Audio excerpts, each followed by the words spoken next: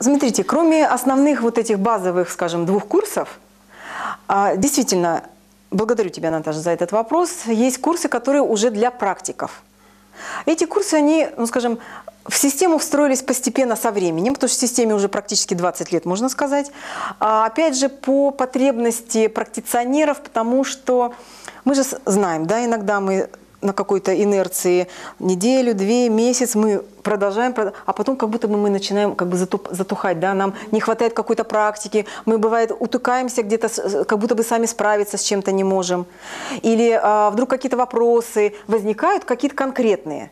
И поэтому в тета-хиллинге постепенно, скажем так, по запросу практиционеров, потихоньку, потихонечку стали, ну, скажем так, образовываться другие курсы именно для практики.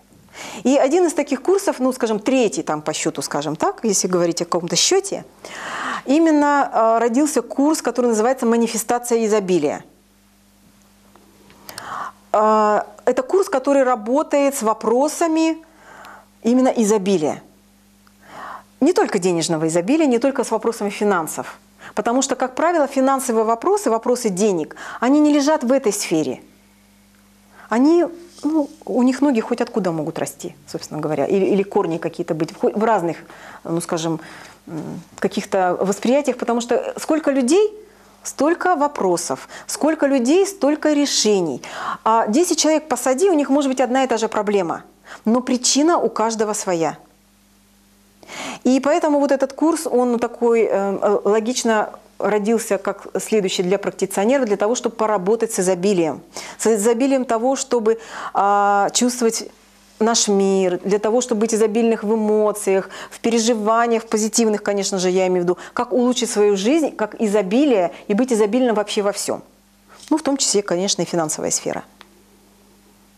А как уметь манифестировать, осознанно манифестировать, ну, скажем, создавать свою реальность через манифестацию – то есть там как раз именно вот эти навыки отрабатываются.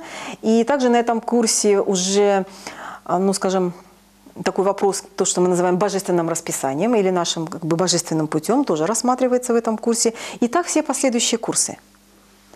То есть, например, как родился курс «Интуитивная анатомия», он идет три недели. То есть это курс для практиционеров, когда мы именно работаем только с вопросами тела. И причем каждый, на каждый день отводится, на каждую систему отводится один день. Наше тело, оно способно удерживать, то есть наши клетки, оно способно удерживать программы, убеждения, отрицательные эмоции, какие-то переживания. Ну, то есть то, что мы говорим блоки, они могут как раз, ну, скажем, быть в теле, в разных системах, в разных органах, в разных местах. И именно на этом курсе мы, рассматривая каждую систему, мы рассматриваем, какие убеждения связаны с той или другой системой, и, или какие-то чувства связаны с той или другой системой. То есть там на каждую систему отводится один день. Для того, чтобы, ну скажем, максимально почистить, проработать это. Да, группа работает. Ну, то есть, смотрите, там получается 15 дней, и почти в каждом дне по две сессии, кроме других практик. То есть люди работают друг с другом, друг, друг другу дают сессии. Ну вот если мы два умножим, примерно 30 сессий. Что то есть получается... А, это работа с убеждениями, то есть раскопка, а, замена убеждений, загрузка чувств. Ну и любые другие техники, которые мы называем целительскими в тета-хиллинге. То есть это работа а, внутри утроби, свободно плавающие воспоминания, психические крючки атаки, а, практика базового исцеления конкретно, то есть все разные техники. Дней мы изучаем тело, мы его очищаем, скажем так, выясняем, как работать с другими людьми, как работать с собой, на что стоит обращать внимание. То есть ну, много разных практик, которые мы там а, изучаем еще дополнительно к тем, что мы уже знаем в базовом продвинутом курсе. Ну, как бы расширяемся. Угу. Получается, если овладел техниками тета-хиллинга, получается, неизлечимых болезней нет, да? Да. Неизлечимых болезней нет. Если ребенок с 7 до 9 лет находится в тета... Э, до 7-9 лет. Почему они болеют в это время? А дети не имеют своих систем убеждений до определенного возраста. Это же болезни родителей. И они присоединяются к системам убеждений других людей. Ну, как присоединяются? Не то, что прилипли писать, то есть поддерживают убеждения своих родителей. Потому что это главные, э, как сказать, с момента рождения и вообще с момента зачатия, в общем-то, это главные действующие лица в жизни человека на протяж- ну, до какого-то определенного периода. И поэтому дети поддерживают систему убеждений своих родителей. То есть мы их взяли до 9 и понесли по жизни. правильно? Фактически, да. Кое-что подкорректировали со своим. Да, поэтому, когда мы работаем с маленькими детьми, то мы работаем в первую очередь с родителями. А дети сами по себе очень хорошо принимают загрузки. И когда мы работаем с, други- с маленькими детьми, то мы работаем с родителями. То есть, когда работаю с убеждениями делаем, и только с согласия родителей мы можем делать любые целительские техники для ребенка и с, с момента, и в исцеления, и ну, любые-любые техники с согласия, конечно, мамы там, или папы, смотря кто работает. И, ну, работаем с убеждениями, мы работаем конкретно с родителями. Дети вообще на самом деле очень хорошо принимают исцеление. Ну, скажем, что их блокирует, это их папы и мамы.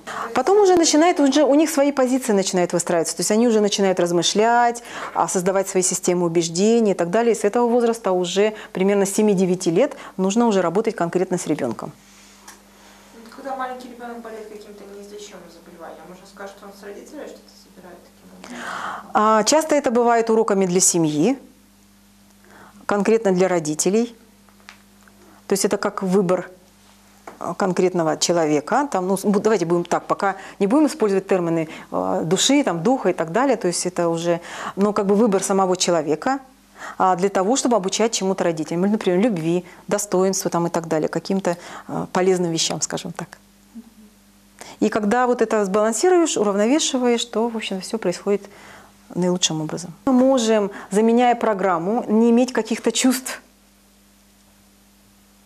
Иногда у нас могут быть чувства, да, вот как, например, в данном конкретном случае, э, допустим, что чувства есть, но нет программы, и мы их то чувствуем, то не чувствуем, и как-то все, ну так скажем, неоднозначно получается.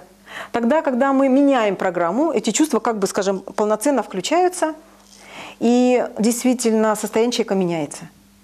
Даже на ощущение эмоций, не знаю, каких-то внутренних состояний, ну, как будто, как мы говорим, летать хочется, энергия, прям прилив энергии такой очень сильно идет и так далее. Ну, какие-то разные критерии там могут быть, у каждого, опять же, свои, да.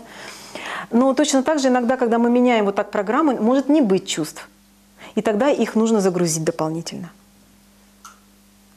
Поэтому, когда мы проверяем какие-то вот эти программы, то можно проверять еще и также тестом чувства. То есть у меня есть программа о том, что я люблю себя, но а, могу ли я чувствовать, что я люблю себя?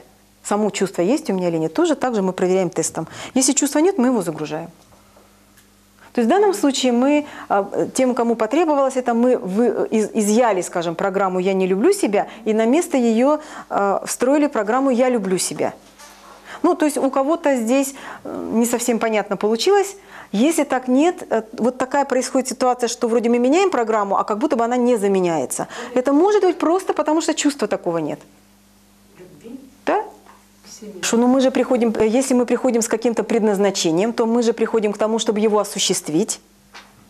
Ну, как бы быть в этом предназначении, да? И, ну, пройти по нему там или вместе с ним, с предназначением. То в этом случае, как раз если есть предназначение, то оно не может быть отрицательным. Ну, вот назовите мне хоть одно отрицательное предназначение. Может, кому-то суждено быть убийцей. Так не бывает, это выбор. Это вы? Пред- В этом случае может предназначение что-то изменить, например. Ну, что-то изменить, если мы говорим. Но оно может вообще человеком никак не осознаваться. И у каждого, если взять убийц, то причина это делать, такой выбор сделать, у, все- у каждого может быть своя. Но предназначением быть убийцей не может быть. А быть жертвой может быть такое предназначение? Нет, это выбор.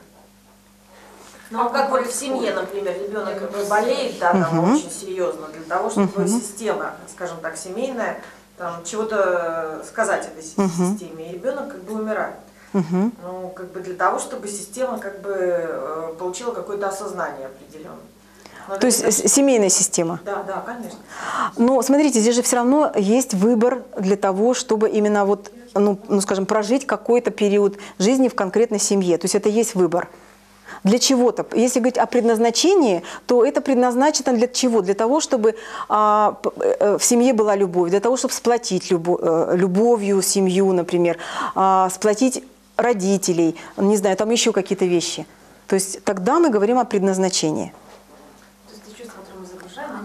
В тета-хиллинге мы учимся тому, чтобы, говорить опять же, выполнить какое-либо вот такое предназначение без того, чтобы страдать, без того, чтобы освободиться от программ жертвы, от программ страдания, от программ наказания, от программ преследования и так далее. То есть без этого, то есть использовать свое предназначение, ну, скажем, изменение на лучшую жизнь, именно через энергию любви, через энергию созидания, вдохновения, то есть через позитивные энергии. Ведь смотрите, тета-хиллинг – это ведь тоже система убеждений. Это ведь тоже система убеждений. А мы с вами ходячие системы убеждений. Мы здесь с вами только потому, что у нас есть убеждения. Если у нас никаких убеждений нет, то ноль. Ну, тогда, значит, нам уже пора. Нам нужны здесь убеждения для того, чтобы развиваться. И в тета-хиллинге мы, а, ну, скажем так, трансформируем ну, скажем, отрицательные системы убеждений, которые направлены на наказание, на, состра- на страдания, не знаю, на болезни, еще на что-то, мы трансформируем на- их на программы, на системы убеждений, которые дают улучшение в нашей жизни. То есть нет, ну, скажем, никаких ограничителей для совершенствования себя. Их просто нет.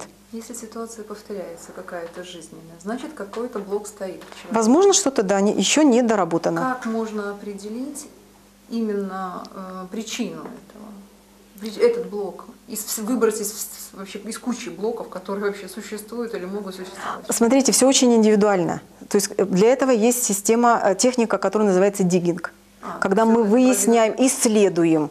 На раскопках. Да, это раскопка. В раскопке мы исследуем. С практикой, с опытом это приходит, это становится очень быстрым. То есть на начальном этапе, когда, вот как спортсмен, вот он же себя начинает тренировать, да? Сначала у него что-то там хрустит, что-то там где-то потянулось, где-то что-то болит. Но через какое-то время он начинает тренироваться, тренируется, все получается быстрее, ловчее, э, энергичнее. Точно так же мы здесь мозг тренируем, именно все так и происходит. То есть это все быстрее и быстрее, и потом это просто, просто происходит, да. То есть это как образ жизни, я не знаю. то есть, Ну, я могу сказать, что я постоянно занимаюсь тета-хиллингом.